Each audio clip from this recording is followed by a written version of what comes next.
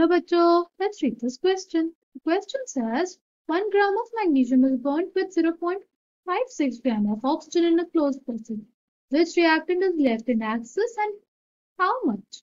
Atomic weight of magnesium और oxygen हमें दिया हुआ है ठीक है The key concept for this question is हमारे पास अगर हम मैग्नीशियम और ऑक्सीजन की रिएक्शन लिखे तो हमारे पास कुछ रिएक्शन आएगी OMG, 2 moles of magnesium will react with 1 mole of oxygen to give us 2 moles of magnesium oxide.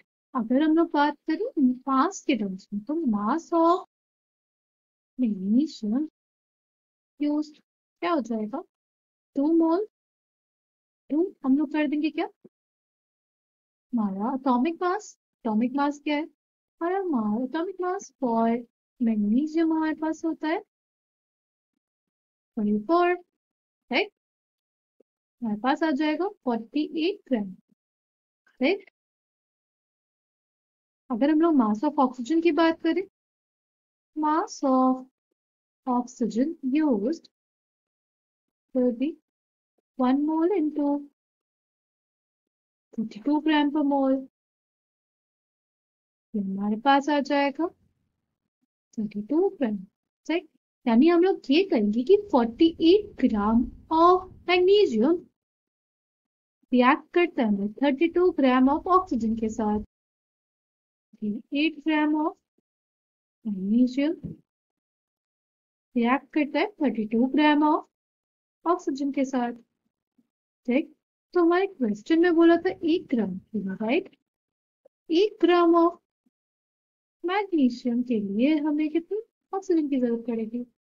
Thirty two forty eight grams of oxygen ये कितना आ जाएगा हमारे पास? Thirty two by forty eight ये हमारे पास आ जाएगा zero point six six seven gram of oxygen but हमारे पास जो ऑक्सीजन अवेलेबल है, वो सिर्फ़ और सिर्फ़ zero point five six gram है।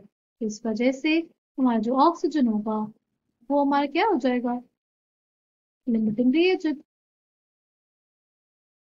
So then will be the limiting reagent.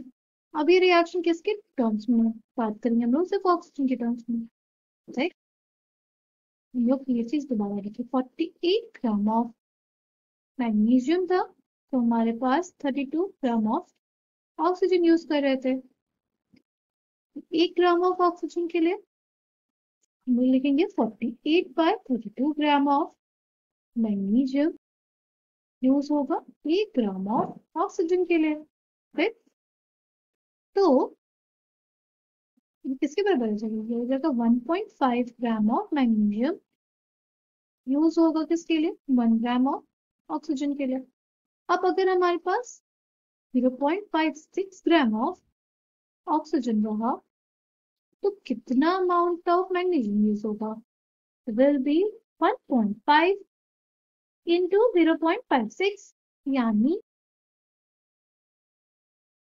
ये हमारे पास आ जाएगा zero point eight four gram of magnesium right हाँ हमारे क्वेश्चन में क्या किया हुआ है कि एक ग्राम ऑफ़ मैग्नीशियम अवेलेबल है, यानी amount of magnesium that is present in excess is